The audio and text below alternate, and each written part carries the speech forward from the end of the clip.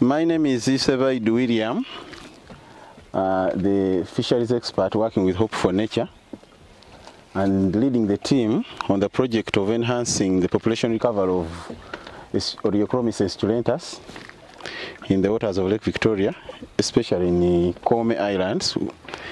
Uh, today we are here at Chivanga commissioning the restocking program with 5,000 out of the targeted 20,000 fingerlings. Uh, these fish have been bred from uh, broodstock that were, were captured from the wild and uh, bred in our breeding facility in Kome. And today we are beginning our first milestone in the restocking. With us here we have key stakeholders in the project. We have Madam Esther Nakaiva, who is the chairperson of Hope for Nature. We have uh, our chairperson, Ukanze Jojo William. Ukanze Josie William. We have uh, one of the representatives of the community-based fish conservation volunteers in Kome at Chibanga. Bogere Fred. Bogere Fred. We have uh, the principal fisheries officer, Mukono district. We have uh, our senior administrative secretary of Kome Island sub-county. We have uh, Namanda, who is an expert at breeding fish. and Namanda Josephine, We have uh, another technical officer, uh, Siraji Riombia, and a number of other members of the community. But I want to take this the pleasure to uh, to thank Hope for Nature. The, I mean the group chaired by Madam Esther Nakaiva. I want to thank Kome, uh, local government administration. I want to thank Uganda Christian University and Mukono District Fisheries Office for the technical expertise and backstopping, eh, which has enabled us to raise this fish. I want to thank, above all, the People's Trust for Endangered Species, UK, for the financial support which has enabled us to fund all these activities, including what we are just going to do today.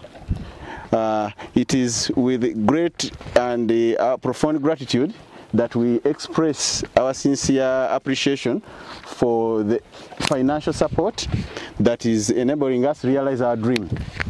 So uh, this moment I want to request, I will request with the guidance of the technical officers around to uh, support uh, our local stakeholders to introduce the fish, uh, to, of introducing the fish back into uh, the lake. Uh, Namanda, please assist.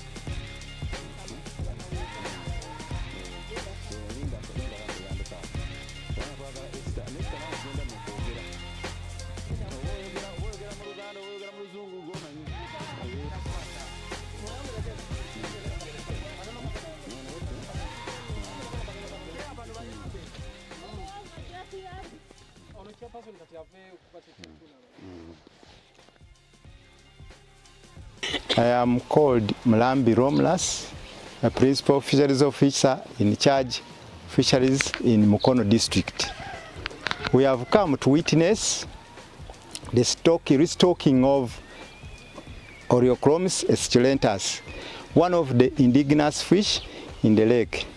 Oreochromis esculentus was uh, reduced in size because of the introduction of Nile perch and the unregulated and uncoordinated fishing activities which was going on for the last 10 years.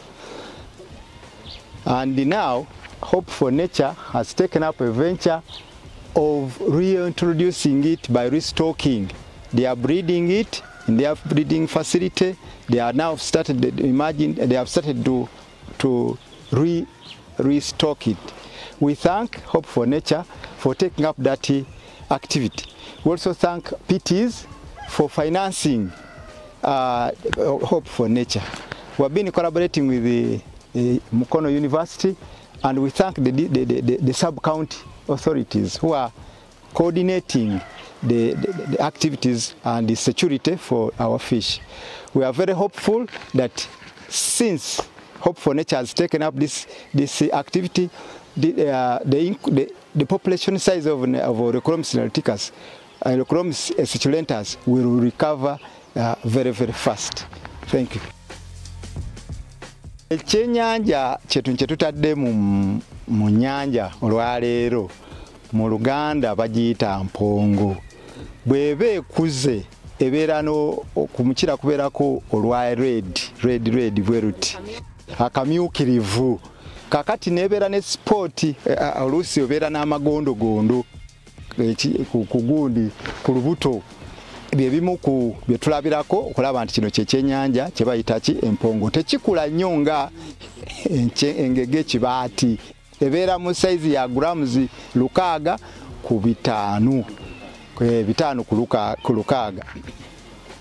Kakati abavubi abawano ne wonna we tugenda okugiteeka tugenda kubalaga engege ekuze engeri gyefaananamu n'engeri kati tubasabe baba bagikutte nga tetunagira baba bagera bagizaawa mu nyanja nze nakayiba esther ndi mutuuze wa wano e bugombe nze chairperson wa hope for nature. Ah, ensonga enkulu olwaleero loza nze neebaze bwebaza bannange bwe tuli mu kibiina kino. Kubanga tukolaganidde wamu ne tu- ne tufuubanga bwe tusobola okulaba nga tutuuse ku kino kye tutuuseeko olwaleero. Ne katonda tumwebaza nnyo kubanga tebibadde byangu okukola ki? Okukituukako naye kati kyetwalwaniriranga tulabye nga tukoze eki nga tukituuseeko. Twebaza nnyo batekinico team ab'ekibiina kyaffe abatuyambye nnyo okulaba nga tutuuka ku nteekateeka eno. Kubanga tuludde ngaekintu kino tukyagala ne basala amagezi wano ne wali naye olwaleero tutuuse ku bulijjo kyetukola ki?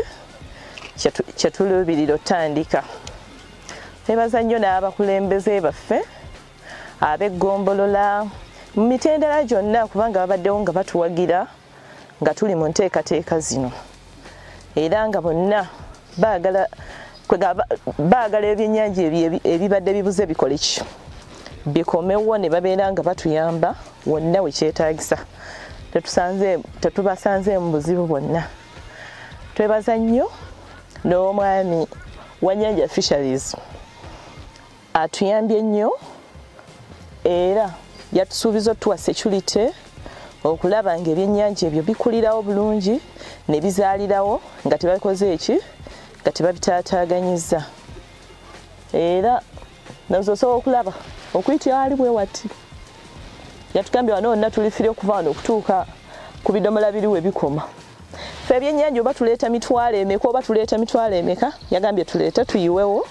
Yajja tuwaaki ajja tuyambako ku nsonga ya security. Kale tumwebaza nnyo kubanga yatuwagiddemu ekyo. Era tulina essuubi tetugenda kukoma wano tugenda kuyiwa ne mu bitundu ebirala. Mukama bw'anaabeera nga atusobozesa ne tufuna ebyennyanja ebirala tugenda kwongera tuyiwe ne n'ebitundu ebirala ng'erwazi ng'ebugazi. Tugende nga tukomyawo ki? Ekyennyanja ekyo. Ekyennyanja kino ekisooka kiwooma nnyo. Kiwooma nnyo abantu bonna aba- kyetwayaga- kyetwa- kyetwatandikiddeku ekyo ekyennyanja kubanga omanyi ffeno tuli balunnyanja abalunnyanja era bamanyi ekiwooma ekyennyanja ekyo ekisinga okuwooma mu byennyanja byonna kyova olaba twayagadde kye tuba tutandikirako abantu baddemu okukola ki baddemu okukiryako Era? ate olwokuba kitonotono ne mu sayizi ne katale bakyagala kubanga kigulika? Kigulika?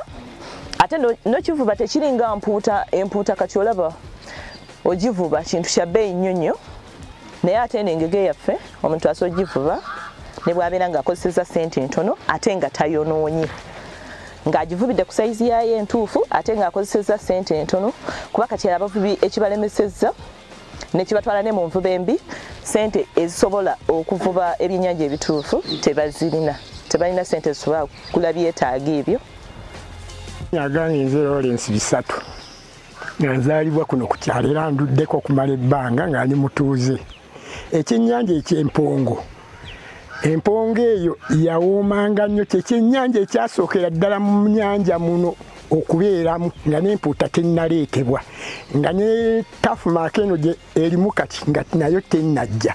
Kyokka empuuta bwe yaleetebwa n'eri ekyennyanja ekyo ekiyitibwa empongo n'egirya ne- nekigirya nekigimalamu netusigaza empongo. Naye ngaekyennyanja ekyo okukivuba kwakyo twakivubisanga obutimba obwa yinki entono yinki nnya kitundu ne yinki ttaano.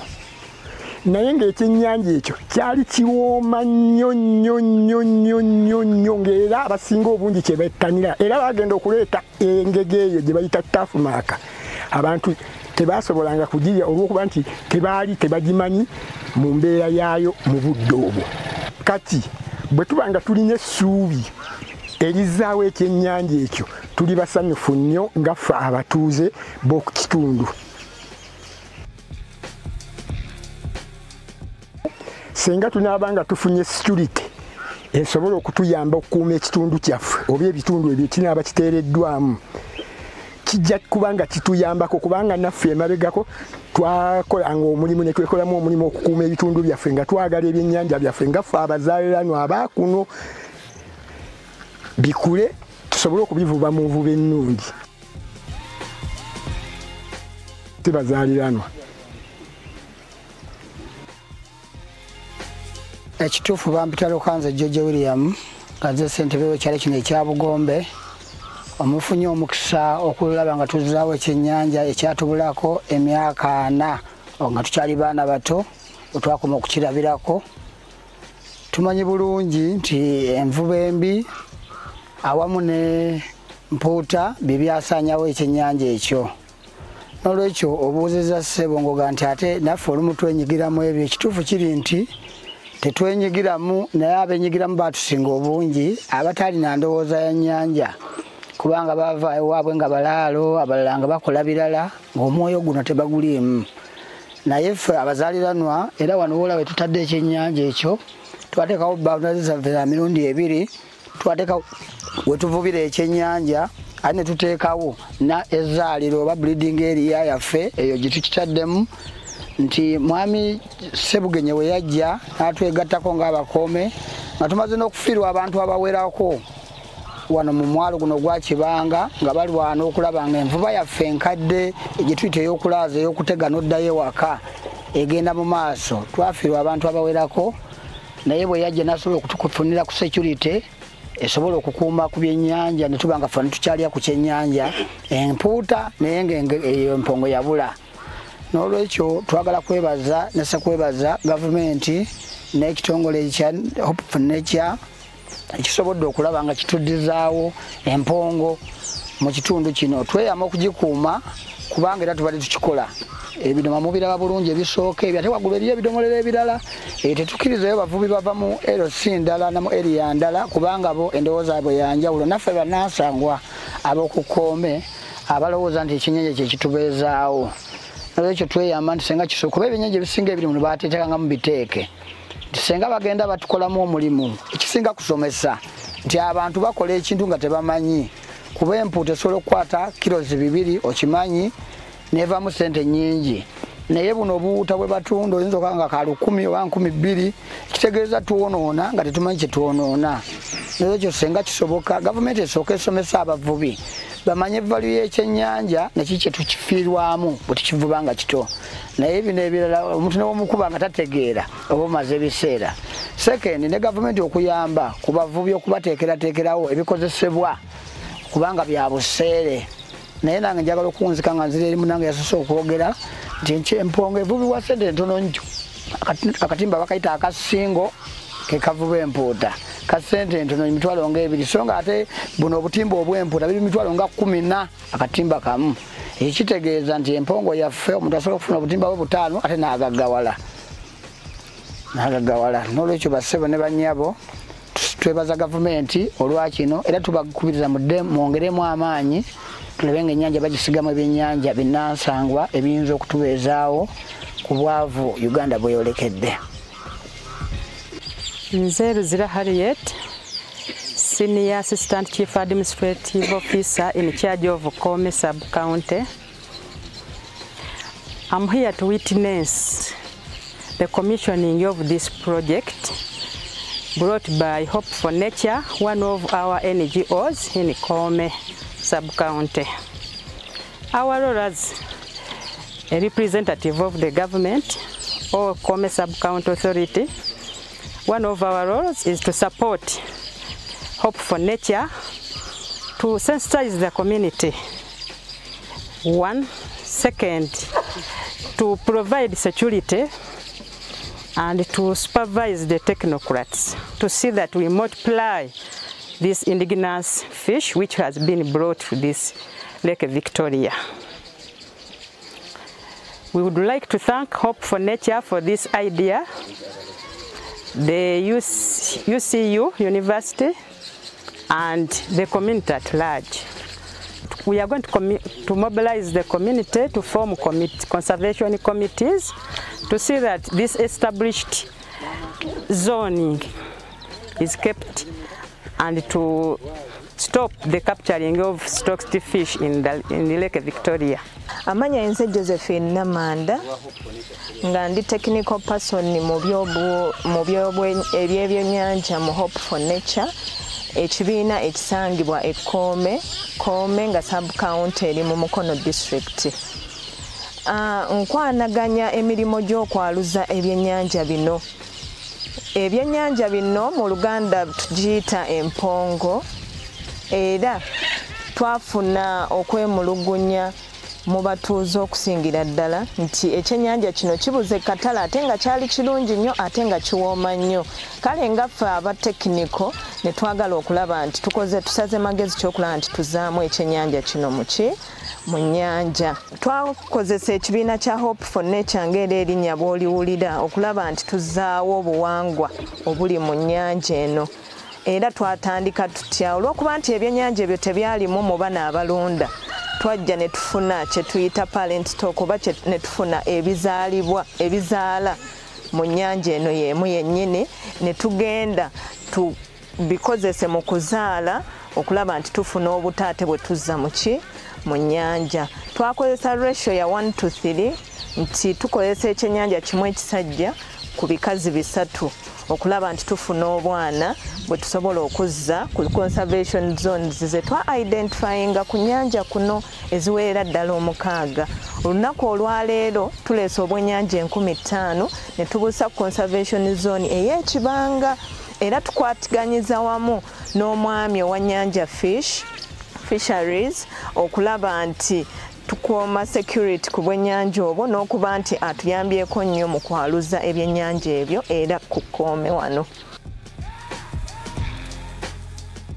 Projekiti eno awamu tukozeseza pounds oba tugenda kukozesa pounds omutwalo gumu mu kenda. Nga pounds ezo zigenda kukola ku kwaluza obwennyanja buno okumala emyaka ebiri nga buli mwaka tusitookinga obwennyanja emitwalo ebiri era zigenda tuyamba okusensitizinga conservation committees zetugenda ofominga ku buli conservation zone ate era n'okusensitizinga fisher community. Bonna abantu abaliraanye zones ezo okulaba nti bategeera obulungi bw'okuzaamu ebyennyanja bino mpozi n'obikuuma okulaba nti byeyongera obungi mu nnyanja. Mpozi ku nsonga eyo mu ntandikwa bwe twalinga twa-identifyinga conservation zones twatunuulira era ebintu bingi nga tulaba nti aba community eri okumpi ne conservation points ezo yatuwa obuvumu nti naye ejja kusobola okuyambako okulaba nti tetubeera na illegal fishing within those sites mwe tusitokinze ekyokubiri nti byo ngaebyennyanja bwe twasitokinze kumpi ku lubalama ewabeera amazzi agaliko wansiko ekyennyanja kino ekisinga obbirya ekibeera mu mazzi amawanvu. Kizibu nnyo okujja ennyo. Eno ewakola ki? Ewali amazzi amampi. Tusuubira nti bwe tunaaba tugobye nga tufunye conservation committees ku buli zone nga zituyambako okugoba abo abandibadde bavubirayo ate era n'okulaba nti ekyennyanja ekyo tekijja eno ewali amazzi amampi ate ne sensitization ze tunakolanga ku buli uh, ku communities okulaba nti babeera bamanyi lwaki tusecurinze ekifo kino. Era tu, tu, nga tubongera obayigiriza nti newoba okirabye bambi funa omutima ogwekisa funa omutima ogw'okumanya nti oli mu ggwanga li era oyagala osigaza ekyennyanja kino okite kiddeyo mu nyanja otwale ebyennyanja ebirala. Olwokuba nti tugambye nti projekiti ya myaka ebiri tutunuulidde nti guno omwaka ogusoose yadde gutukosezza nnyo olwa covid nti ebimu ku bye twali twategese nga activities ezigenda otuyambako okwanguya process bikalubyemu. Naye tutunuulidde emyaka etaano mu maaso okulaba nti waakiri bye tutaddemu bikuze ate ne byongera okuzaala binnaabyo ne twongera nti ne sayiti zonna tumazeeyo okuzisitookinga singa financially baba batwongedde okutuyamba ne tusobola okuwaayo sente okusitookinga ku zones endala nga bukyali. My name is William Isebaidu, uh, the project team leader on uh, enhancing the population recovery of uh, Oreochromis esculentus, one of uh, our critically endangered species in Lake Victoria. Uh, why did we come up with this particular species for our conservation efforts? Uh, it was a response to the public outcry of the fisher folk in Kome, who claimed that it was once a delicacy, but it had gone out of their menu. So because of that, Hope for Nature went out to mobilize for resources and it reached out to pities So uh, Oreochromis is, is an endangered species and it also came to the concern of our local fishermen in Kome, the indigenous fisher folk in Kome, who are, raised their concern about its disappearance and uh, since we had Hope for Nature as a community-based organization in Kome, Bugombe, uh, they took it on as a project and mobilized resources. That is why uh, we went ahead and uh, began on this noble cause of breeding it using the supportive breeding mechanism, uh, using wild broodstock to produce fingering in a, a, controlled area, a pond, and then you reintroduce them back to the wild. So that is the reason why this project is located in Kome and we are focusing on that species because we are responding to the demand of the indigenous fishermen in Kome. The cost of this project is uh, estimated to be uh, 19,000 pounds and that those funds will be used to breed and uh, restock uh, 20,000 fingerlings. Uh, they will be used to establish fish conservation committees in all these conservation zones where we are going to introduce the, uh, the fingerlings of Oreochromis esculentus. It will be used to facilitate uh, sensitization of the communities and fisher folk in Kome uh, creating awareness about the critical uh, undertaking that we are engaged in of restocking Oreochromis esculentus to avoid its uh, abuse. We want to avoid, we want to sensitize the fisher folk and all the other key stakeholders to be part and parcel of the conservation uh, team instead of otherwise fishing it out. we actually would encourage that those even who fish it in the near future can have the concern the the the the the the the, the, concern of at least releasing it you capture, capture, release it back to the wild because it is a critical endangered species and you are interested in recovering its populations. Uh, this, first and foremost, it is already on the red list of the ICUN uh, it, as a critical endangered species. Secondly, the people of Kome, the indigenous fishermen of Kome, are interested in recovering its populations because it was a delicacy. It was cheap to fish as one of the indigenous fish species of the lake. So, in uh, the bid to restock its population or to restore its populations, we are actually trying to promote biodiversity in the lake. At this juncture, I would wish to thank, uh, first and foremost, the People's Trust for Endangered Species, UK, for the financial support that they have extended to Hope for Nature to facilitate the activities of uh, enhancing the population recovery of uh, Oreochromys esculentus. Uh, I would wish also to thank uh, Nyanja Fisheries, our partner in breeding, because they actually accepted and uh, took us on to use their facilities in breeding this species and also offering a safe zone where we could really keep uh, we could restock some of the fingerlings that have been produced. We to thank also Kome local government for their administrative role and mobilization of the community and sensitization of key of other key stakeholders about the this noble cause of restoring the populations of Oreochromys esculentus. Uh, Would thank Uganda Christian University Mukono for the technical backstopping, which they do with the Mukono District Fisheries Office in the supporting the Hope for Nature team when it comes to breeding. Uh, above all, I would also wish to thank the community of Kome who have been receptive in the various conservation zones that we have identified and have pledged their support to protect the fish that we introduce to guard it against irresponsible fishing activities. So uh, ideally, we really hope, highly hope that our project will be a success because the community and the key stakeholders are participating actively.